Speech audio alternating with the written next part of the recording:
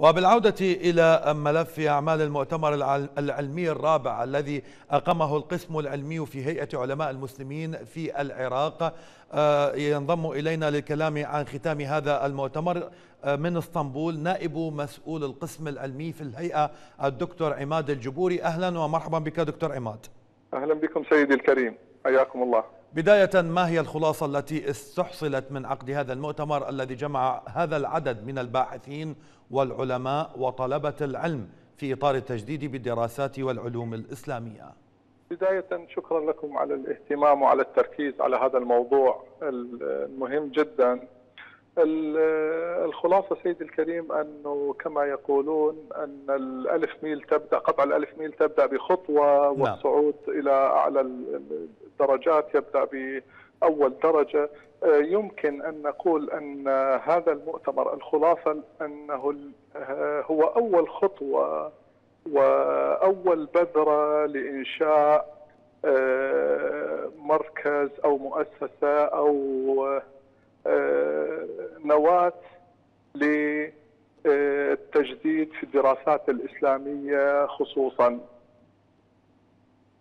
طيب كيف يمكن ترجمة ما ورد من بيان ختامي وأوراق بحث طرحت في هذا المؤتمر إلى خارطة طريق عملية تسهم في التجديد في الخطاب الإسلامي والدراسات الإسلامية؟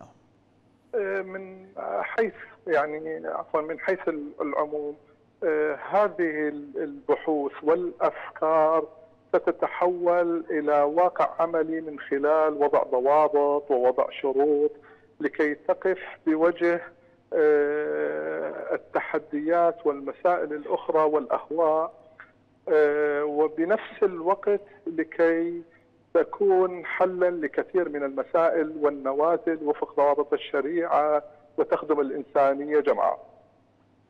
هل تعتقد أن عقد مثل هذه المؤتمرات سيضبط الانفلات فيما يسمى التجديد بالعلوم والدراسات الإسلامية ويعيدها إلى أصولها ومنابعها الحقيقية؟ لا يمكن القول أنه آه، يعني آه، يعني سينهي الاتجاه الآخر لكن سيظهر الضوابط الحقيقية لمن أراد اتباع الحق وسيظهر الضوابط والشروط التي يمكن أن تكون موافقة لمبادئ الشريعة الإسلامية. وبهذا بهذه بهذه الطريقة يمكن أن تكون الصورة واضحة لمن أراد اتباع الحق. إلى أي مدى بات من الضروري جدا اليوم تركيز البحث الفقهي على المستجدات والنوازل وضبط قواعد الفتوى وفق الشريعة الإسلامية بعيدا عن أي مصالح سياسية.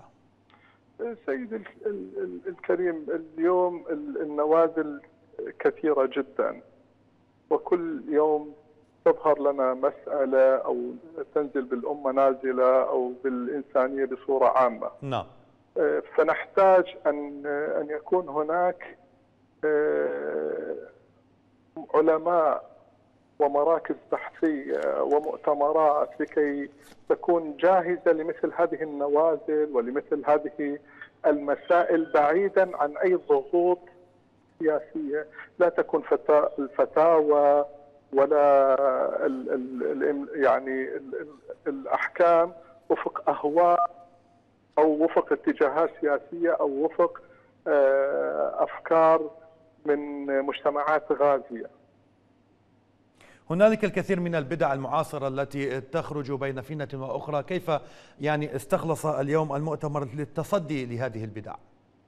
والله سيدي الكريم مثلا يعني من ضمن آه، توصيات المؤتمر يعني هو التصدي للبدع المعاصرة في العقيدة نعم. من هذه البدع مثلا الديانة الإبراهيمية أو الدين الإبراهيمي الذي ظهر لنا آه، لمصادمته الثورة الشرعية وتوظيفه للمصالح السياسية يعني من هذه من أبرز أبرز المسائل مثلا نعم. حصر المسائل الفقهية مثلا النادره في المحاكم الشرعية آه، مثلا تحرير محل التجديد في يعني هناك أكثر أكثر من مسألة لكن يعني كل هذه كل هذه المسائل قلنا مثلا يعني آه، حتى لا تكون وفق البدع ووفق الأهواء كان هذه التوصيات ظهرت لنا توصيات ترد أو تضع آه، حواجز ونقاط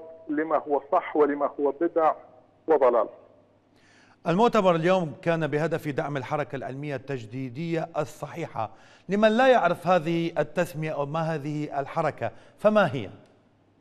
الحركة العلمية الصحيحة لأنه كما تعلمون سيدي هناك أحيانا آه، نبقى على على المسائل والفتاوى القديمة والمسائل القديمة وسط الكتب القديمة المحاولة اليوم أنه نكتب بطريقة جديدة وفق ما يتناسب مع مجتمعاتنا وفق ما يتناسب مع التكنولوجيا وفق ما يتناسب مع التطور العلمي بما لا يخالف الشريعة الإسلامية أو ما لا يخالف ثوابت الشريعة الإسلامية. هل في خطط هيئة علماء المسلمين والقسم العلمي فيها مواصلة عقد هذه المؤتمرات بالشراكة والتعاون مع جامعات ومعاهد وأكاديميات إسلامية وتوسيع آفاق الخطاب الإسلامي والدراسات الإسلامية؟ في النية يعني هناك عمل في النية أن يكون مع جامعات ومؤسسات إسلامية ويعني هناك عمل سابق. ولكن آه، بسبب آه، وباء كورونا توقفت هذه الأعمال التي فيها تعاون. آه، لكن بإذن الله بعد ما يعني رفعت بعض قيود كورونا سيعود العمل إلى التعاون مع المؤسسات والجامعات العلمية. نائب مسؤول القسم العلمي في هيئة علماء المسلمين الدكتور عماد الجبوري كنت معنا عبر الهاتف من إسطنبول. شكرا جزيلا لك لانضمامك إلينا.